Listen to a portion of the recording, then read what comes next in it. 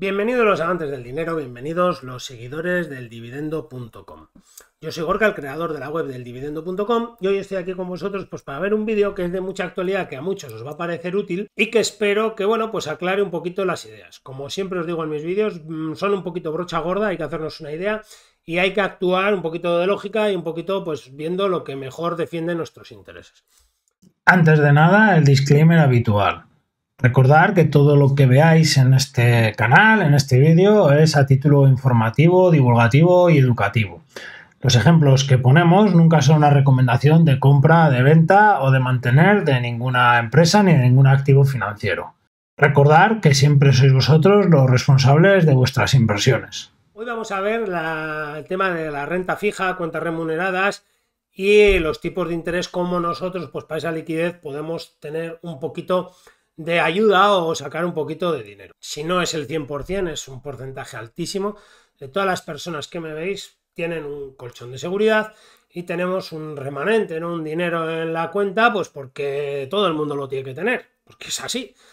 ¿Qué es lo que sucede? Bueno, pues tipos un poquito más altos, inflación elevada y todo el mundo, pues bueno, tenemos que tratar de sacar algo por ese dinero porque la inflación nos lo lima. Realmente, mm, en todos los vídeos estamos hablando de sacar algo por nuestro dinero y la realidad no es esa. La realidad es que nos quiten menos eh, vía inflación de, lo que nos están quitando. O sea, la realidad es muchísimo más chunga y cruel que tal como lo hablamos aquí o como se habla, vamos a ver en el 99,9% de lo que podáis ver. La realidad es la que os digo. ¿Cómo podemos evitar que esta lima sea de grano gordo. No sé si alguna habéis limado alguna vez, pues están las de desbastar con grano bien gordo, las de ya quitar y luego las finas. Bueno, pues tenemos a nuestros gobiernos y a nuestros bancos centrales con la inflación dejándola que le han dejado hacer lo que quiera y han cogido la lija y le han metido el grano gordo y bueno, saltan hasta astillas de nuestro dinero. Entonces, bueno, pues una idea de qué es lo que hay que hacer es el motivo de este vídeo. De la misma forma que nos están limando, nosotros tenemos que tener cuidado para no meternos en un problema sin mm, mucha intención y que no nos sigan limando. Y todo esto viene pues porque nosotros tenemos que tener muy claro el tipo de interés que tenemos que exigir por nuestro dinero, pero hay una variante muy importante que la banca siempre usa de una forma muy escondida y es el calendario. Es eh, todos estos depósitos y todo ese tipo de cosas, el, calendario de vuelta. Lógicamente las cuentas remuneradas son las primeras que pagan, las que menos pagan, porque no tienen calendario. Es decir, tú el día que quieres coges la tela y te la llevas. ¡Pum! Esto es lo ideal. Si nos pagaran la inflación en una cuenta remunerada, no hay duda de lo que hacer. Es bien sencillo, es cuenta remunerada. Pero por desgracia, pues no es así. Entonces, tenemos que buscar alternativas. ¿Por qué digo esto? Porque cuando nosotros nos vamos a invertir en renta fija, tenemos una vez más que no cagarla. Lo importante no es acertar exactamente, lo importante es no fallar de lleno. Alguna vez podemos fallar, pero hay que tratar de que sean las mínimas. ¿Qué es lo que sucede? Cuando nosotros vamos a meter un plazo fijo o vamos a invertir en bonos o letras, una de las cosas que es súper mega importante es el plazo. ¿Por qué es el plazo? Muy sencillo, lo vais a entender muy fácil. Si los tipos o lo que a nosotros nos están pagando está subiendo, a mí no me interesa un plazo largo. Yo a mí no me interesa coger un bono a 10 años al 1% y que en esos 10 años se me vaya al 6%, porque fíjate, estoy perdiendo un 5%. Si los bonos, lo que me van a pagar por los tipos de interés está, vamos a decir, razonablemente plano, entonces me es indiferente. Me es indiferente, lo podré vender en el mercado, más o menos por lo que lo compré, y es indiferente.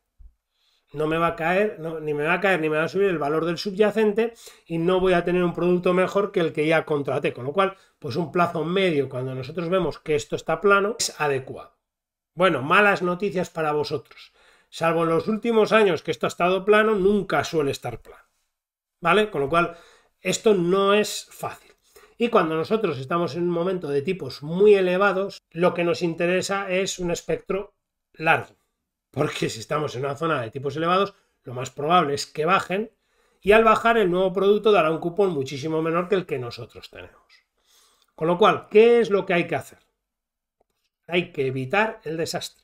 ¿Y cuál es el desastre? El desastre es coger deuda en nuestra propiedad, es decir, tener bonos o letras a largo plazo en una época que suben los tipos, o tener letras o bonos a muy corto plazo en una época que bajan los tipos. No es acertar, repito, no es acertar. La clave está en no errar. Si no erramos, conseguimos batir la media. Es decir, si de algo tan grande como esto quitamos los grandes errores, vamos a obtener media más un poquito, que está muy bien. Porque lo importante es, si coges errores, vas a obtener media menos un poquito. Lo importante es evitar los errores. Bien, aquí tenemos una gráfica histórica desde 1975 hasta el 2016 o 17 de cómo han estado los tipos de interés en Estados Unidos. Fijaros lo importante que yo es con lo que quiero que os quedéis. Fijaros qué poca estabilidad ha habido de los tipos de interés, es decir, salvo esta zona de aquí con los tipos bajos y esta zona aquí desde el 95 hasta el 2000 que más o menos podemos decir que estuvieron planos, fijaros que todo lo demás que vemos, salvo aquí unos años también en el 75-78, que la cosa no varía mucho, pues fijaros que esto es para abajo, para arriba, para abajo, para arriba, para abajo, para arriba, para abajo, para arriba, para abajo, para arriba. ¿Qué es lo que yo os quiero comentar? Bien. La media histórica de los tipos de interés y grabarosla a fuego es aproximadamente 3,5-4, ¿vale? Ya veis aquí que más o menos si trazáramos una línea 3,5-4, porque aquí previamente que no se ve estuvieron bajos, eh, más o menos 3,5-4 es la media histórica, ¿vale? Si estamos claramente por debajo, claramente por arriba, pues tenemos claro que esto va a irse hacia el otro lado, ¿vale? Entonces, aquí, tipos planos, pues en estos años, pues hombre, lo que no hay que hacer es nada, no se puede coger ni a largo ni a muy corto, sobre todo no se puede coger a largo. ¿Por qué? Pues porque fijaros que lo que pasó. Vale, ahora nos situamos aquí, desde el 80 hasta el 83 pues lógicamente está claramente muy por encima del 4, 4 y medio, ¿no? Pues, pues lógicamente aquí lo que no nos interesa es tener eh, vencimientos cortos, sino más bien largos. Fijaros cómo esto baja, ¿vale? Otro caso claro, pues aquí. Bueno, pues lo que está claro es que aquí no tenemos que coger los largos. ¿eh? Podremos cogerlos a medio, pero no largos. Y cosas claras, pues fijaros aquí desde el 2002 al 2005 y desde el 2008 a la actualidad, pues lógicamente no conviene coger largo, sino que habrá que coger más bien corto. ¿Por qué? Pues porque ya vemos que no es muy normal que esto se sitúe aquí. Tenemos más trucos. Tenemos esta página que yo la uso muchísimo. Y fijaros esta gráfica de aquí que a mí es la que más me gusta. Pues fijaros cómo hay años que está esto plano, pues lógicamente plano y muy bajo, pues nos dice que largo plazo no, corto. ¿eh? una cuenta remunerada o dinero en cash. Fijaros esta curva que arranca aquí, la verde, la línea verde, que es la del 2022. Fijaros cómo sube, cómo sube, cómo sube, cómo sube y tiene tendencia alcista hasta ahora. Pues hombre, esto nos dice que hay que situarse en corto, porque la inclinación que tiene esto de subida pues es, eh, es elevada. Hay que situarse corto. Fijaros que ahora empieza a chatar. ¿Vale? Fijaros que ahora empieza a chatar. Bueno, pues esto nos dice que había que estar corto 3, 6 meses, pero bueno, pues igual ahora con este chateo nos podemos permitir 12, 18, 24. Y si esto empezara a inclinarse hacia abajo, aunque ahora va a subir un poquito para arriba, pues Otra forma de ver esto que suele funcionar muy bien y no se usa en exceso es ver lo que los bancos quieren. Empieza a pagar más por el largo plazo que por el corto, suele ser porque ellos, como son la parte contraria, quieren hacer lo contrario. Entonces suele ser mejor quedarse a corto. Si el banco no quiere demasiado dar cosas a muy largo plazo, ¿eh? suele ser momento de tratar de expandirse. Entonces, si nosotros nos vamos, por ejemplo, ahora a ver a cualquier banco, eh, no vais a encontrar depósitos a tres años.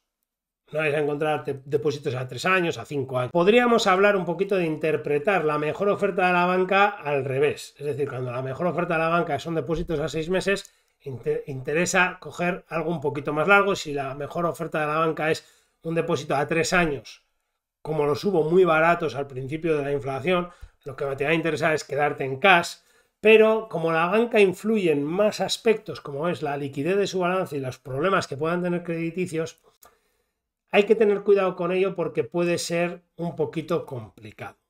Para finalizar, para hacernos una idea, para hacernos una idea de cómo pueden ir las cosas o de qué tenemos nosotros que pedir, vamos a volvernos a esta página y vamos a ver un pequeño dato. Fijaros que estamos otra vez en Euribor diario, que aquí nos marca, bueno, pues como el Euribor que estaba sobre el 4, al subir los bancos, el Banco Central un poquito los tipos, pues fijaros que ya se ha ido al 4,20, eh, que ya, pues las hipotecas ya, pues que tenga mm, Euribor más 0,8, pues fijaros que ya está en el 5%.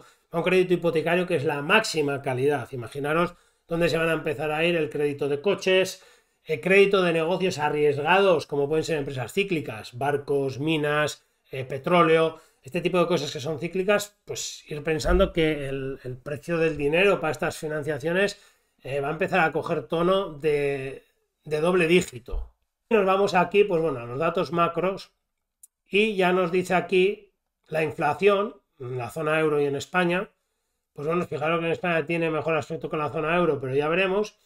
Y aquí, que es lo que a mí más me interesa, los tipos de interés del Banco Central Europeo. En estos momentos, la financiación al 4,25, el depósito a 3,75. Eh, lo que nosotros pidamos a una cuenta remunerada, a un depósito o algo así, se tiene que parecer un poquito a esto, ¿vale?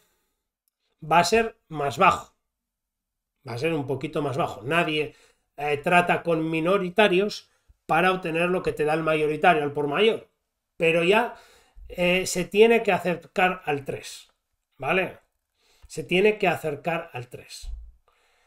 Y este es un poco lo que nosotros tenemos que tener en la cabeza de cómo gestionar si metemos letras, si un banco, si otro banco. El que nos dé más de este, tiene, tenemos que empezar a pensar que cuidado, que puede empezar a haber problemas ahí y cuidado donde metemos nuestro dinero. Eh, yo sé que los fondos de garantía funcionan, yo sé todo esto, pero también sé lo que les pasó a los que tenían el dinero en el banco chipriota en la crisis de Chipre. Lo podéis mirar en la Wikipedia, lo podéis mirar en Internet. Por eso os digo, yo sé todo el rollo de los fondos de garantía, sé todo eso, no me lo tiene que explicar nadie, pero cuando alguien te da un depósito más que lo que da el Banco Central Europeo, es decir, nos vamos de entre el 3,75 y el 4,25, hay que empezar a estar seguro de lo que hacemos. Y si alguien nos va a dar más de un 4,50, ya tenemos que empezar a preocuparnos realmente. Tipos de interés del Banco Central Europeo. Si estamos hablando de un banco en dólares o de un banco en libras, pues hay que mirar el banco central que corresponda. Pero yo hablo para zona euro, ¿vale? Cada uno, pues esto lo tenéis en vuestra zona, con la divisa que sea, pero lo dicho, tiene que ser el depósito justo es por debajo de esto. Puede ser un 20%, que es un buen margen para, el banco, o sea, sea un, solo un 3%. Eh, si un banco anda un poquito ya más cojo, que quiere generar clientes, tendría que estar entre uno y el otro. Ya debiéramos de empezar a preguntarnos dónde metemos nuestro dinero. Por encima de este número, eh, debieran de saltarnos todas las alarmas.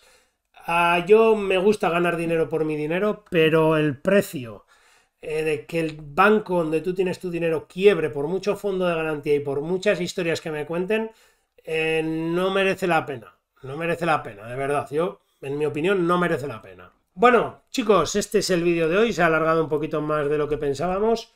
Ya veis, si los tipos suben, deuda corto. Si los tipos están planos, bueno, corto medio. Corto, pues 3-6 meses. Tipos planos, pues bueno, pues entre 6 meses y tres años. Ahí es donde nos vamos a manejar. Tipos para abajo. Entre un año, año y medio y cinco.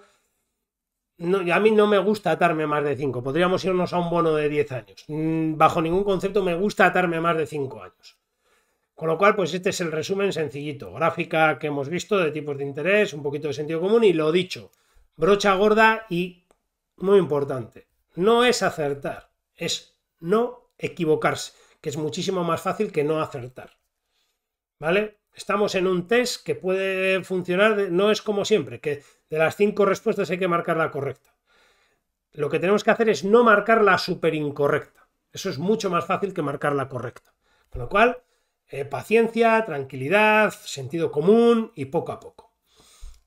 Espero que el vídeo os haya gustado, si es así le pegáis ahí a un me gusta, espero que os podáis suscribir, podéis activar las campanitas y lo que siempre os digo, pues bueno, a ver si sacamos un poquito y no nos liman mucho la tela, que en ello están.